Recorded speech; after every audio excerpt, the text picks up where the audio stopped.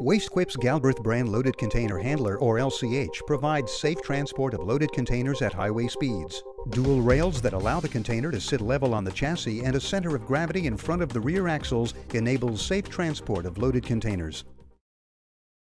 Hey, we brought the show to Waste Expo in Las Vegas.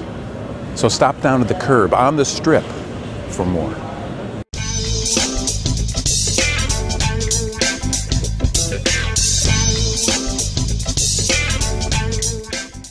Hello, this is Waste and Recycling News Editor John Campanelli, and we're live at Waste Expo. Actually, there's only about 15 minutes left in the show. People are packing up their booths, and we've seen a lot of stuff here, and I got a lot of footage.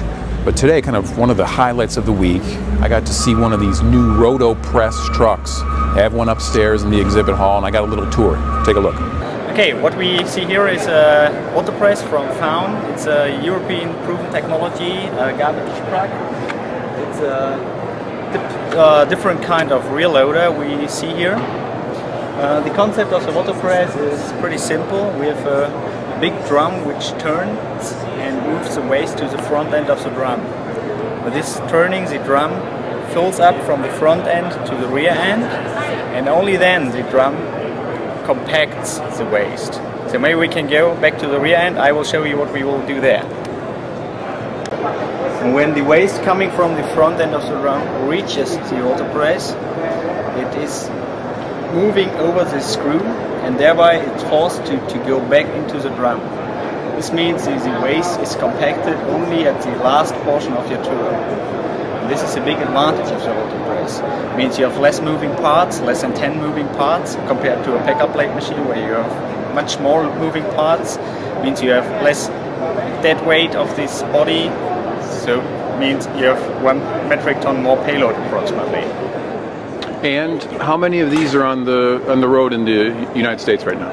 In the United States, there are only several running at the moment, but it's a proven technology from Europe. Uh, we built these units since more than 80 years, and more than 35 units, 1,000 units have been built so far. So it's a really proven technology and really efficient. So 10, 20 years, are we going to see it uh, on every street in America? We hope. Hopefully yeah. we can. yeah. So don't be surprised if you see a Rotopress driving down your street sometime soon. Earlier in the week, the week has been marked by a couple things. We've had a new leadership in the industry group. There's been a lot of merger and acquisition excitement, it seems to be. We'll find out, I guess, in the coming weeks. And lots of activity on the floor. Everybody's seeing more than average.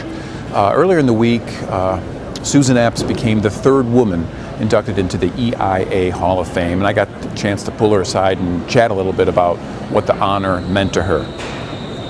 Take a look it's a wow moment. You know, I know that's not, you know, that's an Oprah thing, but you know, it's a wow moment.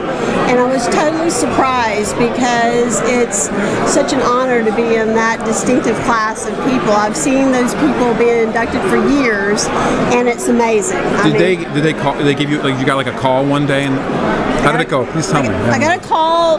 Somebody nominated me, and and then I got a, a, letter that said that I had been inducted into the Hall of Fame. And it was like, you know, you get this letter in the, in the mailbox, and you're like not thinking too much, and all of a sudden it's like, wow, I'm inducted to the Hall of Fame. I mean, am I in, am I that old? You know. One of the big themes of Waste Expo was the departure, the retirement of longtime EIA CEO Bruce Parker. Well, I got his counterpart at SWANA, John Skinner, trying to give his thoughts on Bruce and a little bit about the solid waste industry. Have a look. You are the boss of SWANA. No one's the boss of SWANA. so the, mem the, members are the boss of SWANA. Tell me, we're here at Waste Expo, day one, MGM Grand. Tell me, Give me the state of the solid waste industry right now. Well, first of all, I would like to uh, say congratulations to Bruce Parker on his retirement. He has been in his position uh, for as long as I've been in my position, and we've, we've been good friends and good colleagues. We haven't agreed on everything, but we always respected each other, and I wish him the best as he moves on uh, in, in his retirement. The, the biggest issue that I see in the solid waste industry is that we're going through a transition. We're going through a transition from a waste management industry to a resource management industry. And that has implications all the way up and down the line. SWANA members are beginning to think of themselves as suppliers of materials and energy as well as, or in some cases instead of, disposers of products. So it's been a long week, an exciting week. Met a lot of people, learned a lot of things, but right now, Curbside Live is uh, running on fumes. So what we're going to do is have one last look. We can't leave Vegas without having one last look at the sights and sounds of Waste Expo. So thanks for watching. We'll see you next week at the Curb.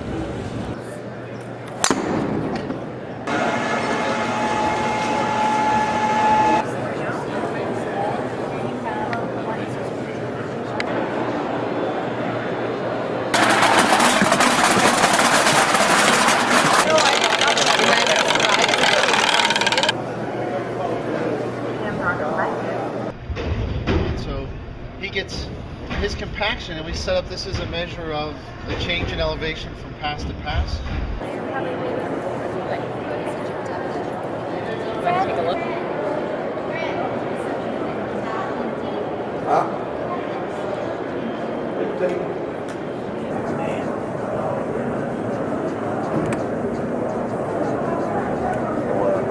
My turning radius is pretty poor, apparently. Right. Most